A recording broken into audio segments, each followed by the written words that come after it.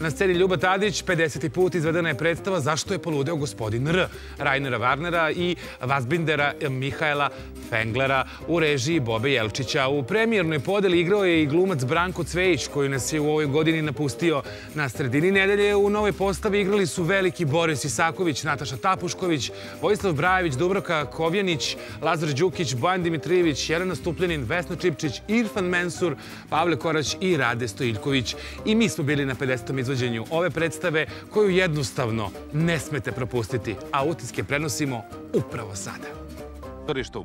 Nekako nam je čudno da smo stigli do 50, iako su prošle četiri godine, to je čudno osjećanje, pa zbog korone mi je obično 50, a to se desi u prvi godinu dana. Tako da ovo je kao posle četiri godine šta smo radili tolike, nekako se razvuklo i onda je dobar osjećaj što je ovo u stvari prvi jubilej. Za prave stvari i jubileje nikada nije kasno. Ja mislim da je ova vrlo bitna predstava, onda je jako dobro da izdrži bar 50. Pa onda ako bude i 100, mislim, onda je stvarno veliki uspeh. Ali sve zavisi. Nikada ne možete da utičete. Nekad su najbolje predstave bile posle 20 izvođenja, nekako publika nije našla isti utisak kao i mi. Tako da ovo mi smo stvarno jako sreći što je doživjeli smo 50. izvođenje. Evo.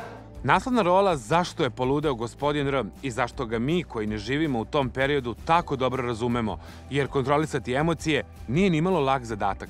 Pa ja generalno mislim da je, da je problem današnje ovaj, e, civilizacijski što, što se sve potiskuje i što se obuzdava.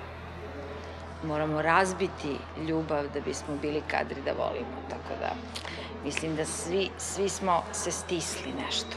Premijerno je ova predstava izvedena 2018. godine, a od tada je doživela brojne promene. Najpre one u podeli. Nekako energija ta se ka, e, kao menja, ali u stvari oni su uvek prisutni. Deo su, kao što mi u glumi koristimo to emocionalno pamćenje, takođe deo tog pamćenja su i ljudi koji su sa nama radili na projektu, pa i igrali dosta dugo. Tako da e, njihova energija, duhovi, svi smo mi uvek tu zajedno, tako da to ne možete nikada da, da uklonite. I to je fantastično u pozorištu, zato što delimo sve sa publikom, pa čak i te naše misli. Glumac Branko Cvejić svima mnogo nedostaje i to je ono što se nikako ne može sakriti. Njegovo odsustvo se i tekako osjeća u svakom trenutku.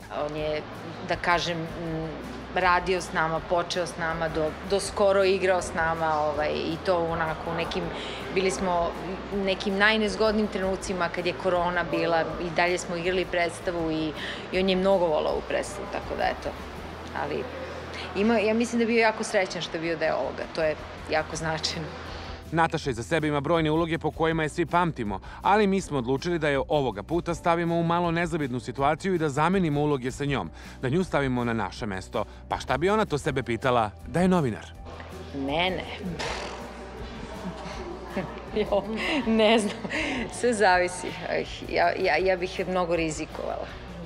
Da, ali ne bih vam udavala sad. Ali šta je za vas rizik? U kom smislu?